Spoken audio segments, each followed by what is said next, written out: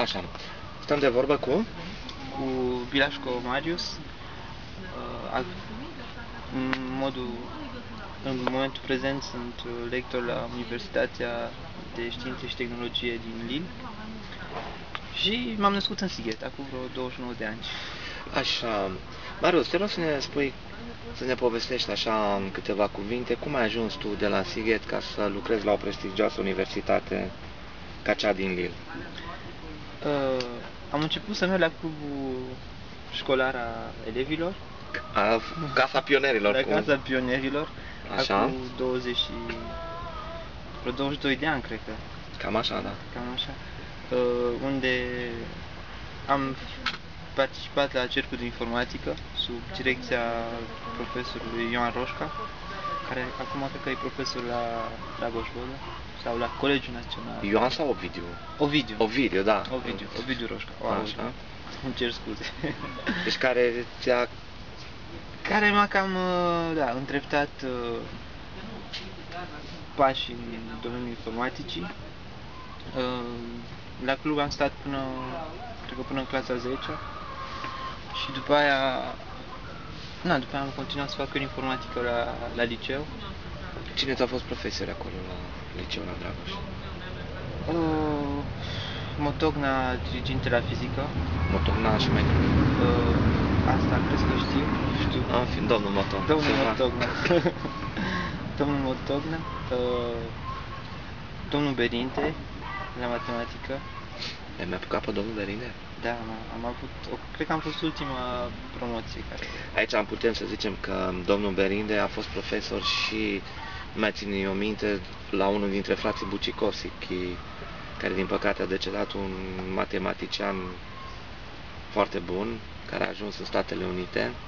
Din nefericire, din cauza unei boli, a decedat și a adus o contribuție, am înțeles, în geometria plană sau euclideană, o teoremă care și poartă numele. Așa. Bun, după ce ai terminat uh, După ce am terminat uh, facultatea, facultatea liceu, am mers la Cluj, la, la, la Babeș, la secția informatică, așa la cadrul facultății babeș la secția de informatică. unde, unde am studiat, am studiat. Uh, Ce a fost interesant e că primii doi ani am făcut multă matematică. Erau cursuri la, în comun cu secția de matematică, ceea ce ne-a permis să, chiar dacă eram informaticieni, să avem o gândire foarte riguroasă și foarte argumentată, uh, folosind tot felul de modele matematice. La Cluj am participat și la, la Centrul de Comunicație al Universității, pe bază de voluntariat, unde era interesant că aveam o,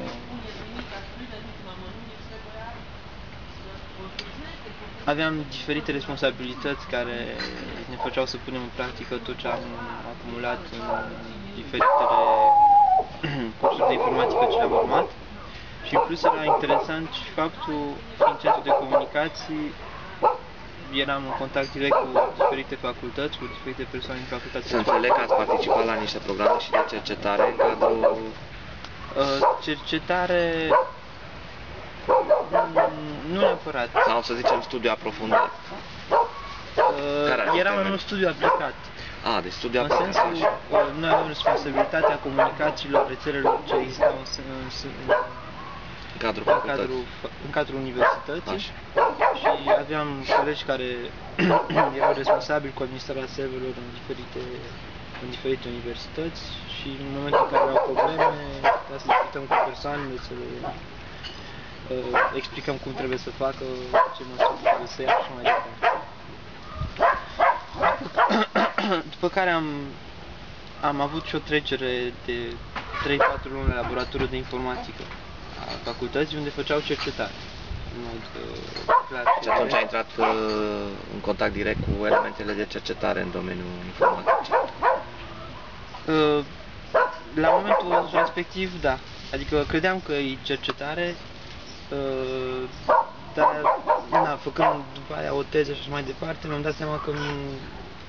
Și acum cred că în anul 3 de facultate e greu să, să faci cercetare. Ești mai mult un fel de pion care Angrenat într-un sistem mai mare. implementează cercetarea ce au făcut alții. Tu ești acolo, ești na, negru care face lucruri, dar încă n-ai destul, o formație destul de, de, de largă și un... Ca să poți aborda aceste teme.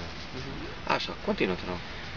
După care, în anul 3, am avut oportunitatea să plec cu o bursă Erasmus la, la, la Grenoble, unde uh, timp de șase luni am studiat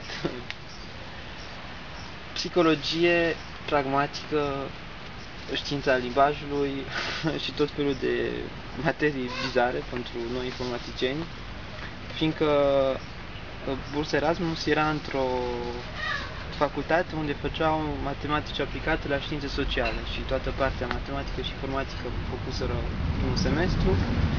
Dar cum la vremea respectivă Erasmus încă era tânăr și finanțarea întârzia să vină, am plecat numai în al doilea semestru.